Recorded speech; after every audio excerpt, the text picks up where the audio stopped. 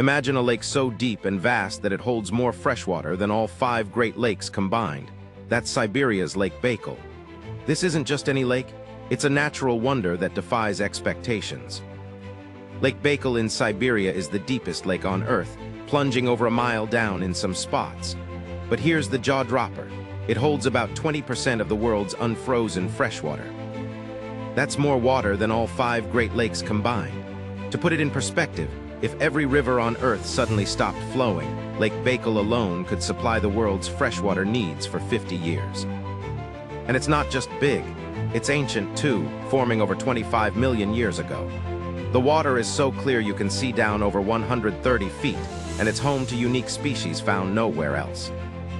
So next time you think of massive bodies of water, remember, Lake Baikal is in a league of its own. Can you believe how much water this lake holds? Drop a comment with your reaction and follow for more mind-blowing nature facts.